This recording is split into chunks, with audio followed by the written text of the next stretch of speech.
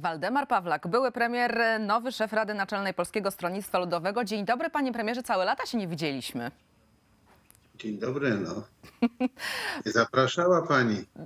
To jest akurat nieprawda, co jestem w stanie udowodnić, ale dobrze, idźmy do przodu, rozpoczynając naszą współpracę na nowo, panie premierze. E, e, Szefem Rady Naczelnej pan został, Władysław Kośniak-Kamysz nowym, starym przewodniczącym Polskiego Stronnictwa Ludowego. Co pan odpowie tym, którzy mówią, że teraz e, Władysław Kośniak-Kamysz będzie miał bardzo pod górkę, kiedy pan został szefem Rady Naczelnej? Nie wiem, kto tak mówi. Bo Y, akurat z Władysławem Kosiniakiem mamy bardzo dobre, praktyczne przykłady współpracy, współdziałania i to od e, długiego czasu, nie, nie tylko ostatnie e, tygodnie czy miesiące, ale wiele, wiele lat. Miałem okazję go obserwować e, w różnych okresach jego kariery. Pamiętam też, jak, tak mówiąc żartobliwie, odmówił mi w 2000 1997 roku, bo powiedział, że potrzebuje skończyć e, specjalizację e, lekarską i e, doktorat. I dopiero potem przeszedł do polityki, więc nie wiem, pani redaktor tutaj jakieś ma osobiste podejrzenia. Nie, absolutnie one nie są osobiste. Ja po prostu bardzo dużo czytam e, komentarzy w internecie i takich analiz e, e, publicystyczno-politycznych i rzeczywiście pojawiły się takie wątpliwości dotyczące tego, że zdecydowanie mniej swobody Waldemar, Waldemar Pawlak, Władysław Kośniak-Kamysz przez Waldemara Pawlaka będzie miał, że pan go będzie zdecydowanie bardziej kontrolował, że pan ma nad nim władzę jako szef Rady Naczelnej, bo tak, a nie inaczej statut Polskiego Stronnictwa Ludowego wygląda, więc chciałabym rozwiać wątpliwości. Rozumiem, że e, Władysław Kosiniak-Kamysz będzie miał pełną swobodę, jeżeli chodzi o kierowanie e, Polskim Stronnictwem Ludowym. Tak, tak, rozwiewamy te wątpliwości wspólnie i nie ma tutaj takich obaw, y, jeżeli chodzi o swobodę działania. Zresztą y, taka jest struktura w PSL-u, że przewodniczący Rady jest przewodniczącym tego gremium bardzo licznego, które reprezentuje i regiony, i reprezentuje też różne środowiska, bo mamy tam ludzi, którzy są zawodowo związani polityką, tak jak posłowie, ale są też, y, są też y, na przykład y, przedsiębiorcy, rolnicy, naukowcy, samorządowcy. I chciałbym, aby te kręgi tych społeczności bardzo tak aktywnie współdziałały przy tworzeniu strategicznych kierunków działania PSL-u, bo wtedy będzie to bardzo wzbogacało tą bieżącą y, aktywność Polskiego Stronnictwa Ludowego, w tym także prezesa y, Władysława Kosiniaka-Kamysza. Panie premierze, proszę mnie poprawić, jeżeli ja się mylę, ale e, Rada Naczelna, której pan przewodzi w tej chwili, e, jest w stanie odwołać prezesa PSL-u, prawda? To są jakieś tylko bardzo ekstremalne sytuacje. Natomiast trzeba patrzeć, że z punktu widzenia praktyki to e, prezesa PSL-u powołuje kongres Mhm. i to powołuje e, bezwzględną większością głosów spośród dwóch kandydatów, a więc prezes, tak jak teraz prezes Kosiniak-Kamysz, który uzyskał e, prawie 90% głosów na kongresie, ma bardzo mocny mandat i to jest wykładnia i relacja w PSL-u. Natomiast bardzo ważne jest, żeby każda partia potrzebuje tutaj też tej aktywności społecznej, terenowej. Mhm. I e, bardzo istotne jest, żeby to nie było tylko tak, że sobie robimy kluby dyskusyjne, dyskutujemy zawzięcie i nic z tego nie wynika, tylko te e, dyskusje powinny się przenosić na e, działania naszych parlamentarzystów, posłów, senatorów, samorządowców. Bo przykładowo, jeżeli teraz mówimy o takich praktycznych problemach, które związane są choćby z y, zagrożeniem, że zabraknie nam energii, czy, czy energia ma bardzo wysoką cenę, no to um, oczekujemy, że wokół odnawialnych źródeł energii PSL będzie bardzo mocno i aktywnie argumentował za tym, żeby y, nie blokować y, w tej chwili rozwoju energetyki obywatelskiej, bo rząd y, i większość sejmowa przyjęła taką ustawę. Mhm. E, Wprawdzie ona jest odłożona w czasie, do, dopiero z końcem pierwszego kwartału będzie wchodziła w życie, ale to jest czas teraz, ten kwartał, na to, żeby e, popracować nad odblokowaniem tych mechanizmów. Niemcy na przykład w umowie koalicyjnej stworzyli e, jeszcze lepsze warunki dla rozwoju fotowoltaiki, choć tam już ta odnawialna energia jest bardzo mocna. Panie premierze, e, kończąc temat e, jeszcze Władysława Kośniaka-Kamysza, mm, jak pan ocenia jego prezesurę po tych e, kilku latach? Jaką ocenę by pan mu wystawił? Na pewno e, dla Władysława Kośniaka-Kamysza te ostatnie lata e, to był e, bardzo trudny czas w polityce, ponieważ e, mamy tutaj sytuację, gdzie PSL jest w opozycji, no oczywiście trudniej działać, ale chcę podkreślić, że w tych wyborach samorządowych, które w międzyczasie były, w kilku regionach, a szczególnie w gminach, PSL przedstawiciele PSL-u odnieśli spektakularne e, sukcesy, a więc bardzo ważne jest, aby stawiać na takich ludzi, którzy mają e, w swoich środowiskach e, mocne pozycje. I niewątpliwie myślę, że Władysław Kośniak-Kamysz będzie potrafił tutaj wykorzystać wszystkie te aktywne osoby działalności PSL-u w najbliższej kadencji. Bardzo dyplomatyczna odpowiedź, panie premierze, ale pan nie zna i pan doskonale wie, że ja zapytam raz jeszcze. Jak pan ocenia jego prezesurę? Bo to, że miał trudno, to wszyscy wiemy. dobrze oceniam, bo myślę, że e, starał się e, z jednej strony dobrze reprezentować środowiska, które na nas głosowały, a z drugiej strony e, podejmować też inicjatywy, które odpowiadały na najbardziej istotne całego kraju. Na przykład, jeżeli mówimy tutaj o takiej e, polityce, czy geopolityce nawet, no to jego ostatnie twierdzenie bardzo takie kategoryczne, że nie pozwolimy jako PSL na skłócanie czy na przyjmowanie ustaw, które by nas skłócały e, ze Stanami Zjednoczonymi czy z Unią Europejską, no to jest bardzo dobre pokazanie e, tych e, działań, które są związane z polską racją stanu. Dzisiaj nie należy popadać w jakieś kompleksy czy, czy udawać ofiarę losu, która nic nie może, tylko e, trzeba widzieć, że Stany Zjednoczone rozmawiają w tej chwili z Unią Europejską o współpracy. To jest wyraźna zmiana w w stosunku do polityki prezydenta Trumpa, ale też e, dzisiaj nawet będzie rozmowa prezydenta e, Stanów Joe Bidena z e, prezydentem Putinem, czyli e, Ameryka rozmawia z Rosją. Niemcy rozmawiają z Rosją, Francja rozmawia z Rosją. Dzięki temu kryzys na naszej wschodniej granicy został przez kilka telefonów rozładowany i- i w tej chwili będziemy mieli piękny mur, który będzie nas chronił przed dzikami i zającami z Białorusi. Mm, No, taka, e, powiedziałabym, daleko idąca ironia, panie premierze. A pan uważa, że ten mur jest zupełnie niepotrzebny? Uważam, że potrzebna jest mocna dyplomacja. I tak jak e, słyszałem swego czasu wywiad, bardzo dobry wywiad Wojciecha Brochwicza, który mówił, że trzeba, to było parę miesięcy temu, e, że trzeba e, działać w miejscu, gdzie się te problemy rodzą, to znaczy oddziaływać na kraje, z których przyjeżdżają ci biedni migranci.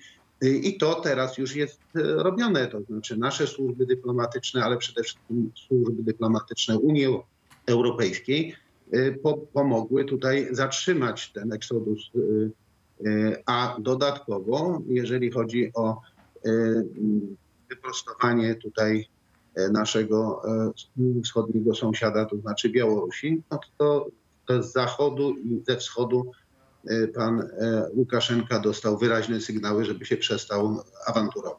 E, Panie premierze, nie ma pan wrażenia, że polska dyplomacja jest w stanie rozkładu?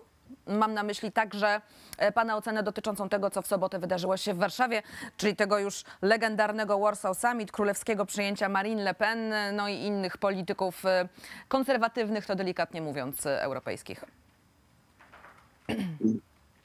Czy rozkładu to nie wiem, ale na pewno jest w stanie bez radu, bo nie, nie oddziałuje na sprawy, które leżą w żywotnym interesie Rzeczpospolitej i są związane z naszą racją stanu.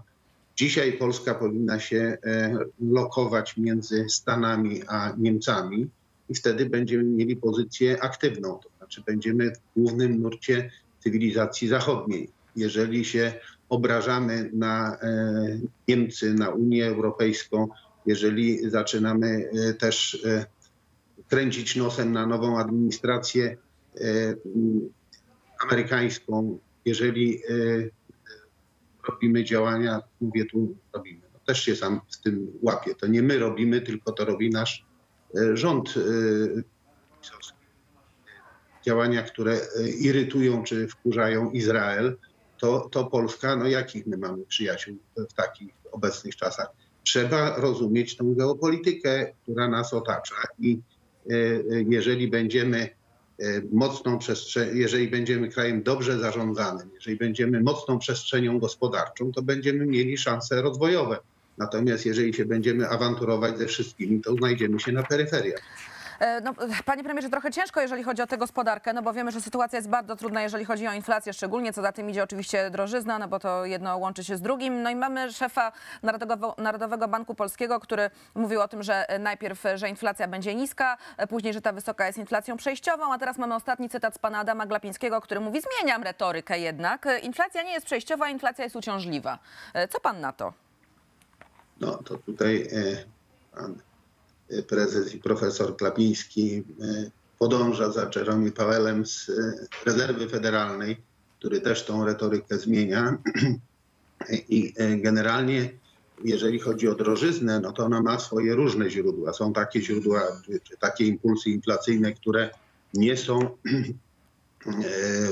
możliwe do łatwego e, zatrzymania, jak chociażby wzrosty cen surowców na e, rynkach międzynarodowych, ale są takie, które już są w zasięgu naszego oddziaływania, to znaczy na przykład kurs złotego do euro, do dolara, to jest już też efekt e, No właśnie i w tym kontekście, krajowej. panie premierze, ja chciałam pana zapytać, czy pan uważa, że e, jeżeli Narodowy Bank Polski jest w rękach e, takiej osoby jak Adam Glapiński, to czy my jako obywatele i nasze pieniądze i polska gospodarka, czy wszyscy jesteśmy bezpieczni?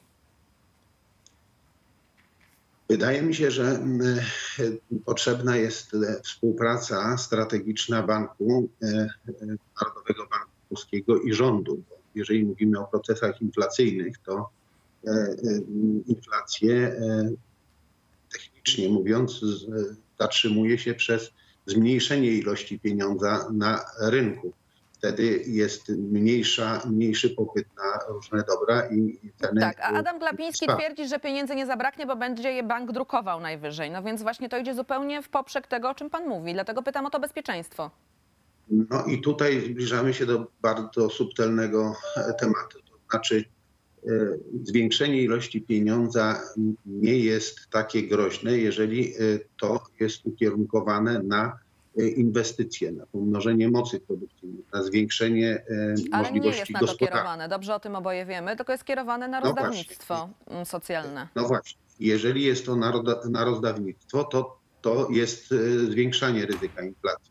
Jeżeli by to było skierowane na inwestycje i na przykład na inwestycje też takie ukierunkowane bardzo, bo na przykład jeżeli mówimy o odnawialnych źródłach energii, gdyby rząd PiSu nie zrujnował ustawy z 2015 roku, to dzisiaj wielu ludzi z własnych oszczędności, nawet nie oglądając się na dotacje państwowe, zbudowałoby dużą liczbę elektrowni, y, czy to fotowoltaicznych, czy też elektrowni No, wiatrowych. z fotowoltaiką, jak pan wie, to Prawo i Sprawiedliwość także walczy, więc tutaj mamy problemy. Pan e, o tej zielonej energii mówi dużo, Prawo i Sprawiedliwość także idzie w poprzek, jeżeli chodzi o swoją politykę. Panie premierze, to ja kończąc wątek Glapińskiego, zapytam, czy pana zdaniem on powinien być prezesem na kolejną kadencję? Na pewno jest w Polsce y, wielu ekonomistów, którzy mogliby y, być y, na ten trudny czas dobrymi specjalistami i szefami banku. Spośród kandydatów PiSu powiem tak, że wydaje mi się, że spośród kandydatów PiSu Glapiński jest najlepszy albo jest jednym z najlepszych. Ja tam nie widzę w PiSie ludzi, którzy byliby przygotowani. Zresztą trzeba pamiętać, że y, pan Adam Glapiński był zastępcą przez parę lat y, pana profesora Marka Belki i y, on y, zna się na rzeczy, wie jak to powinno działać. Nie zawsze y, działa tak, jak y, powinien, ale y, niewątpliwie jest y, człowiekiem, który rozumie te mechanizmy. Y, Jeżeli y, podejmuje działania zbyt takie gołębie, to znaczy zbyt mało restrykcyjne, to znaczy, że jego y, sympatia do rządu jest większa niż sympatia do złotego. Ale to już y, na, na dyskusje takie Tak y, jest. bardziej... E, panie bardziej- premierze, A jak wygląda Pana sympatia do Prawa i Sprawiedliwości? Bo pojawiło się wiele teorii mówiących o tym, że Pan jest skłonny z PiSem współpracować, więc teraz daję Panu szansę, żeby rozwiać kolejne wątpliwości. Uwielbiam takie pytania, bo to jest, wie Cieszę pani, się. coś takiego.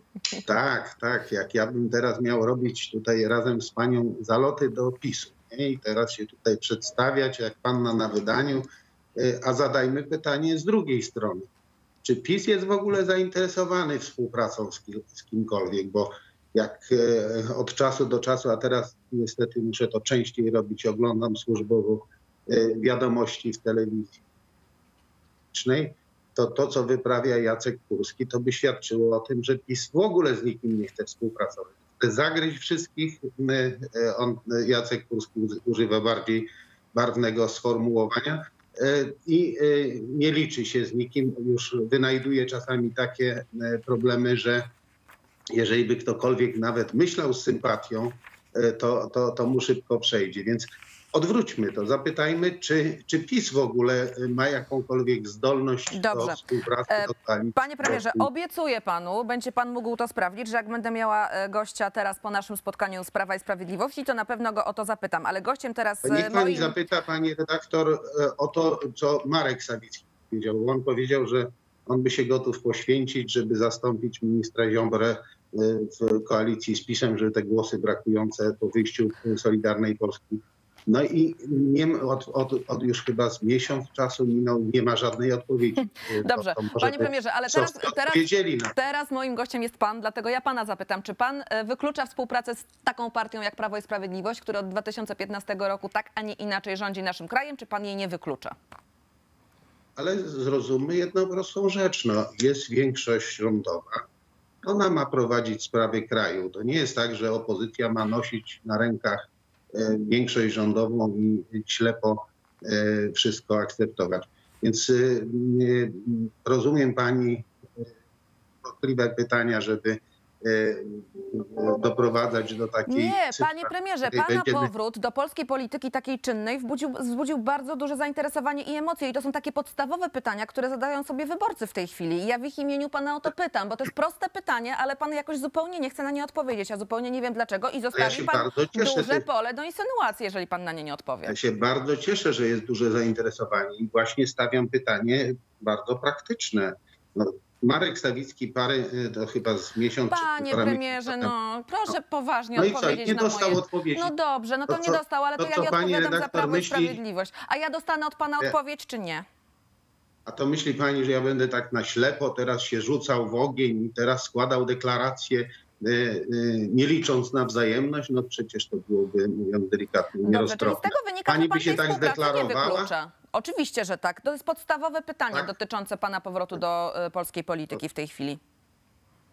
to postawmy sprawę jasno, że są sprawy, które są powinny być polską racją stanu, tak jak na przykład teraz e, postawienie na współpracę, mocną współpracę z Unią Europejską, wycofanie się z tych chorobliwych e, rozwiązań w e, obszarze sprawiedliwości czy praworządności, szerzej rzecz ujmując, współpraca z Unią Europejską, współpraca ze Stanami, przeorientowanie naszej geopolityki e, bo w tej chwili dla Ameryki, dla Europy ważna jest współpraca z Rosją, żeby e, utrzymać dobry balans e, i potencjał z Chinami, no to zadajmy pytanie, czy PiS jest gotowy, czy w ogóle PiS może dokonać takiego zwrotu.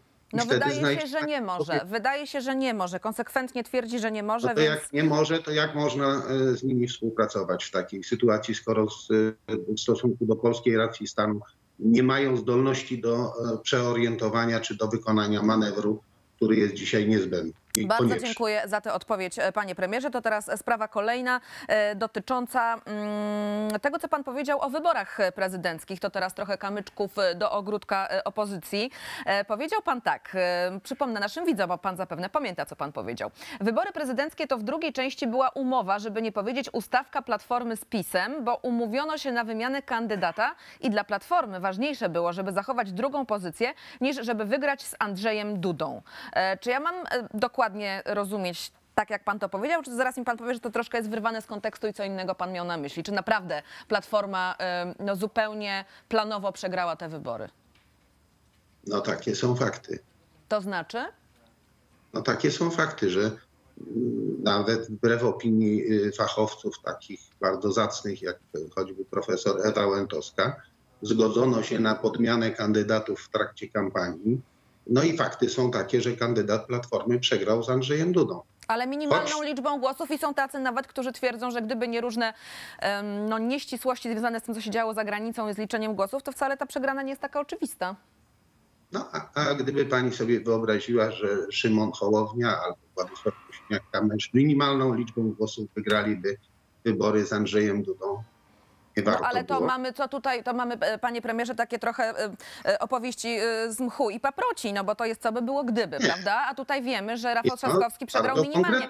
bo- I naprawdę pan uważa, że Trzaskowski zgodził się na taki układ? Okej, ja startuję, ale i tak przegram z Dudą?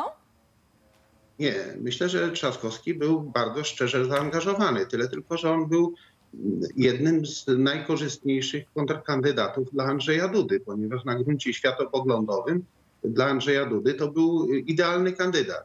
W momencie, kiedy osłabła kandydatura pani y, marszałek Małgorzaty Kidawy-Błońskiej, Platforma miała do wyboru y, dwie proste strategie. Albo y, skierować poparcie na któregoś z kandydatów, który przechodzi do drugiej tury. Prawdopodobnie to byłby Szymon Hołownia albo Wła- Władysław Kosiniak-Kamysz, gdyby Platforma w ramach Europejskiej Partii Ludowej postawiła na kandydata e, z tego środowiska, e, to wtedy Kosiniak przeszedłby do drugiej tury i wtedy byłaby szansa na wygraną. Oczywiście byłoby to rozwiązanie bardzo takie trudne dla Platformy, ale dobre dla Polski.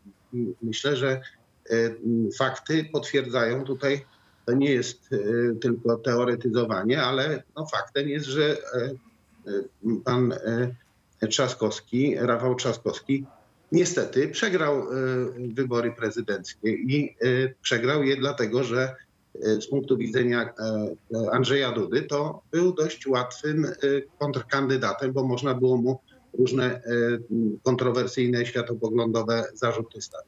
Panie premierze, tylko ja się zastanawiam, skąd u pana ta pewność, że Kosiniak-Kamysz albo Hołownia by te wybory z Dudą wygrali? A z takiego samego powodu, z jakiego Rafał Trzaskowski przegrał. To jest, e, tak jak pani redaktor przed chwilą powiedziała, Mhm. stawka była o niedużą liczbę głosów. I teraz niech pani sobie wyobrazi, że e, dlatego mówię, że potrzebna jest, i tutaj się zgadzam też z prezesem Kosiniakiem, potrzebne jest stawianie na trzecią siłę, na dwa bloki na opozycji, dlatego że wtedy ludzie będą mieli szansę na wybieranie większego zła, a nie e, wybór mniejszego zła. Nie będą zmuszani do wyboru mniejszego zła, bo jak była kandydatura w drugiej turze Rafała Trzaskowskiego i e, Andrzeja Dudy, to część e, elektoratu może była na tyle pod ścianą, że uznała, że mniejszym złem będzie Andrzej Duda. No a gdyby był inny kandydat, to może by się okazało, że, że wybór byłby o tę niedużą liczbę głosów w drugą stronę. Pa- jest, Panie e, premierze, czyli rozumiem, że pan już dziś odpowiada Donaldowi Tuskowi na propozycję wspólnej listy opozycyjnej? Nie. Pani redaktor, wybory i przyszła lista to jest odległa przyszłość. I mnie najbardziej się podoba ta formuła, która została przyjęta w Senacie i zresztą z sukcesem, Mhm. że nie zaczynamy myśleć od końca, tylko zaczynamy od początku. Znaczy najpierw ustalmy, wokół jakich spraw mamy wspólne, zbieżne poglądy, a nie od tego, że siadamy do jednego koszyka i wywieszamy jedną flagę. Na e, wybory senackie propozycja była taka, że w różnych okręgach kandydują kandydaci z różnych środowisk. I y, w moim przekonaniu na- nie ma e, recepty w postaci No, jakieś chyba kłopoty z łączeniem mamy znowu niestety. Mam nadzieję, że za chwilę uda się je mm, przezwyciężyć. Panie premierze, o, bo na chwilkę pana straciliśmy, ale już, już, już słyszymy. Proszę kontynuować. Tak, tak. To y, na, na wybory jest potrzebne y, postawienie y, możliwości dokonywania lepszego wyboru przez Mhm. wyborców, a więc przedstawienie ofert, które będą dla wyborców klarowne, czytelne, nie będą zbyt takie uproszczone, że tylko jeden faktor rozróżnia jedną formację od drugiej, tylko lewica ma inne y, ważne postulaty. y, liberałowie również, centrum, szczególnie centrum konserwatywne też trochę spojrzenie na sprawy kraju i wtedy ludzie mają wybór, mogą wybierać większe dobro, a nie wybierać mniejsze zło y, i, i No skupiać się dobrze, tylko panie premierze, tej ale pan jest niezwykle doświadczonym politykiem. Doskonale pan wie, że mamy ten nieszczęsny system Donta, który będzie promował Prawo i Sprawiedliwość, jeżeli opozycja pójdzie podzielona. E, No i teraz pytanie, e, co jest ważniejsze? Czy zachowanie tożsamości partyjnej, czy odsunięcie Prawa i Sprawiedliwości od władzy? Bo wszystkie sondaże, i to przecież też doskonale pan śledzi, pokazują, że jeżeli opozycja poszłaby zjednoczona, to wygrywa wybory z Prawem i Sprawiedliwością. I ja, pani redaktor, pamiętam, e, może, może tutaj pani e, wtedy jeszcze tej polityki nie obserwowała, ale pamiętam, że to ugrupowanie, które e, tak bardzo gorąco pojechało w Donta i zaostrzyło te kryteria wyborów proporcjonalnych, to się na tym bardzo przejechało, bo to była dnia wolności, a potem AWS. E, Dzisiaj, jak z obecnej perspektywy patrzymy na to, co się będzie działo za dwa lata, to nie wiadomo, kogo pan Dont będzie preferował za dwa lata. Może się okaże, że to będzie zabójcza e, m, technika liczenia głosów dla, dla PiSu, więc na dzisiaj, kiedy jesteśmy jeszcze w dużej odległości do wyborów, skupmy się na tym, co jest dzisiaj e, istotne, to znaczy rozmawiajmy o ważnych sprawach e, i teraz, tu i teraz, ale też o ważnych rozwiązaniach strategicznych, bo e, ważne są te bieżące sprawy, na przykład takie jak tu pani wspomniała, wysokie ceny, inflacja. Mhm. Szukajmy rozwiązań, bo na przykład jeżeli chodzi o energię, to oprócz inwestycji najważniejszym, najbardziej owocnym obszarem to są dobre regulacje. Jeżeli mówimy o na przykład epidemii, to e, No e, właśnie. pytajmy się, e, pytajmy się doświadczonych ludzi, naukowców z różnych Panie premierze, to wejdę tutaj panu w słowo, jeśli pan pozwoli, bo właśnie jeszcze o epidemii chciałam na koniec naszego spotkania pana spytać. E, Jest Rada Medyczna przy premierze. Rada Medyczna, która po raz drugi oficjalnie mówi, premier nas nie słucha, nie słucha naszych rekomendacji. E, Prawo i Sprawiedliwość e, robi za mało, jeżeli chodzi o kwestię mm, związaną z obostrzeniami. Gdyby to od pana zależało, gdyby pan dzisiaj był szefem rządu, to wprowadziłby pan po pierwsze e, obowiązek szczepień dla wszystkich albo restrykcje dla osób niezaszczepionych, czy nie? Uważa pan, że PiS powinien podjąć takie decyzje, czy nie? Czy to jest ograniczanie wolności obywatelskiej? uważam, że PiS powinien rządzić, a więc nie powinien sięgać od odpowiedzialności. I e, politycy PiSu e, tak dumni z tego, że nie są, e, jak to było, o imposybilizmie, tak? Że to- Imposybilizm, stronę- tak. Mhm. a w drugą stronę to jak będzie posibilizm, tak? to, to, że mają takie możliwości, to jest, nie korzystają. Ale y, bardzo ważne byłoby właśnie słuchanie świata nauki, y, świata ekspertów. Y, I powiem pani, że byłem pod wrażeniem takiego bardzo ciekawego artykułu pana e, wywiadu pana profesora Marcina Napiórkowskiego dla Onetu, jak wykorzystać gen sprzeciwu. I on zaproponował bardzo zręczne podejście, żeby wszystkich, którzy się jeszcze nie zaszczepili, zaprosić na szczepienie.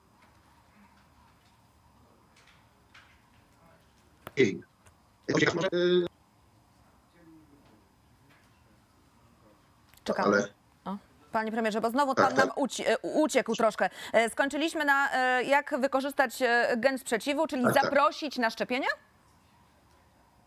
tak, tak. No ale to zostało uczynione, zostały wysłane szpitale- SMS-y do niezaszczepionych. No i co? Tak, ale niech pani posłucha. Pan profesor Napiórkowski proponuje, żeby to było tak, że ma pa, e, ci, którzy się za, nie zaszczepili, bo chciałem powiedzieć, że ma pani zaproszenie, ale ci, którzy się nie zas- zaszczepili, mają zaproszenie i o, e, jeżeli by chcieli, e, jeżeli by nie przybyli na szczepienie, to wtedy muszą zapłacić za to, że, że na przykład służba zdrowia była w gotowości i że straciliśmy na przykład szczepionkę. E, czyli muszą coś zrobić. Mhm. E, Natomiast oczywiście, jeżeli byliby e, aktywni i tam zdeterminowani, no to mogliby mm, jakikolwiek powód podać, że nie mogą przybyć na szczepienie, ale odwracamy sytuację. To znaczy e, w tej chwili cała ochrona zdrowia, ponieważ ma nadwyżki możliwości prowadzenia szczepień, oferuje te szczepienia wszystkim. A z kolei Panie wszyscy, premierze, którzy nie ale to jest jakaś sytuacja utopijna. Przecież doskonale pan wie, jeżeli ktoś się nie chce szczepić, ma takie, a nie inne poglądy, to w życiu nic go do Nie. tego nie zachęci. Niektórzy są nawet w stanie płacić po tysiące złotych, żeby dostać sól fizjologiczną i udać się, że są zaszczepieni, więc y, obawiam się, że to jest trochę Dobrze, przeciwskuteczne, ja- ale dlatego ja pana ja- pytam o ja dwa pani- proste rozwiązania. Ja pytam każdego polityka opozycji. Czy jest pan za obowiązkiem szczepień? Krótko, tak albo nie? Pani redaktor, ja właśnie jestem za tym, żeby wykorzystać mądre technologie. Pani się tutaj myli, mówiąc o tym, że wszyscy są tacy zdeterminowani.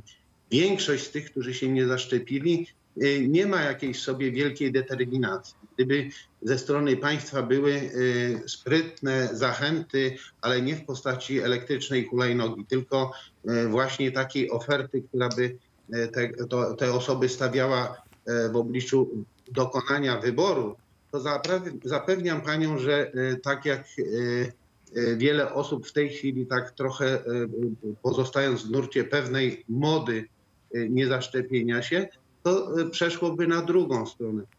Radę przejrzeć ten artykuł profesora Nachutowskiego, Dobrze, bo panie to jest bardzo na ciekawe, pewno- na to, to pewno go- zwraca uwagę na, na e, właśnie e, potrzebę Na pewno go mądrego. Każdy nowy punkt widzenia jest bezcenny w tej sytuacji. E, Panie premierze, a jak pan mm, sądzi, czy Prawo i Sprawiedliwość jest zakładnikiem środowisk antyszczepionkowych w tej chwili? Ja myślę, że przede wszystkim jest nieporadne. Jest nieporadne i właśnie nie korzystając z rad osób z dużą wiedzą, dużym doświadczeniem, nieporadne jest też w wykorzystywaniu doświadczeń międzynarodowych, bo to jest tak y, trochę takie y, y, ta, ta, ta, ta maniera suwerenności y, y, sprawia, że rządzący tracą rozsądek, bo trzeba się umieć uczyć od najlepszych. Trzeba bez jakiegoś kompleksu podejmować działania, które w innych regionach, w innych kulturach się sprawdzają i próbować, ich, e, próbować je zastosować w naszym kraju. E, Natomiast mamy tutaj taką właściwie e, nieporadność, że skoro jakieś środowiska są głośne w takim wyrażaniu po, po, poglądów, to na wszelki wypadek nie ruszajmy tego, bo to może nam sondażowo zaszkodzić. Jeżeli rząd się tylko sondażami kieruje, to jest to bardzo niebezpieczna ścieżka, bo rząd ma ogromny potencjał administracji, e, wiedzy, informacji nie tylko z kraju, ale właśnie też z instytucji międzynarodowych, światowych i powinien ten potencjał wykorzystywać dla dobra e, ludzi e, mieszkających w Polsce, a nie tylko kierować się sondażami. Sondaże są o tyle złudne, że sondaże oddają nastrój bieżącej chwili i też oddają stopień poinformowania publiczności. Jeżeli ta publiczność jest informowana w sposób, y, powiedziałbym delikatnie, nieprecyzyjny albo pokrętny, albo wręcz manipulacyjny, bo tutaj niestety dużą rolę właśnie odgrywa, odgrywają media e, publiczne w takim poślawym i e, przeinaczaniu rzeczywistości, bo to jest jakby równoległa rzeczywistość, to wtedy, ta, e, to wtedy w sondażach się to też odbija. A więc Polska powinna być dobrze rządzona w oparciu o solidne podstawy, a nie tylko o sondaże. E, Panie premierze, ostatnie pytanie podczas naszego tego dzisiejszego spotkania. E, Jak pan ocenia powrót Donalda Tuska, m, pana e, bliskiego współpracownika parę dobrych lat temu do polskiej polityki? Czy uważa pan, że to dobrze, że on się zdecydował na przejęcie sterów w Platformie Obywatelskiej z punktu widzenia i Platformy, i całej opozycji? Dobrze, dlatego że potrzebni są ludzie z doświadczeniem. Ja też się zdecydowałem po dyskusjach, po tym jak kolega Jarosław Kalinowski ogłosił, że nie będzie kandydował na kolejną kadencję Rady Naczelnej, to uznałem, że dla budowania takiej równowagi całego środowiska e, e, Polskiego Stronnictwa Ludowego warto się zaangażować. I w moim przekonaniu e, potrzebne są, potrzebni są ludzie, którzy mają różne doświadczenie, ale potrzebni są też młodzi ludzie z pasją, naukowcy, ludzie, którzy znają nowoczesne technologie, potrafią szybko znaleźć informacje i e, dotrzeć do najbardziej zaawansowanych rozwiązań na świecie. Panie premierze, Więc a sądzi potrzeb- pan, że zarówno pan, jak i Donald Tusk rozumiecie jeszcze polską politykę? Bo ona się bardzo zmieniła przez ostatnie lata, to doskonale wiemy. Tak, i y, w moim przypadku, wie pani, y, miałem takich kilka lat pokornej nauki w terenie, bo pochodzę z małej miejscowości. Y, Teraz niedawno e, czytałem taką uroczą książkę y, Piotra Witwickiego Znikająca O Polska. Włocławku, tak. Mhm. w Włocławku. Ale ja mam tą samą obserwację na mojej gminie Pasyna, gdzie na początku transformacji mieszkało 4,5 tysiąca ludzi, a teraz mieszka 3,5.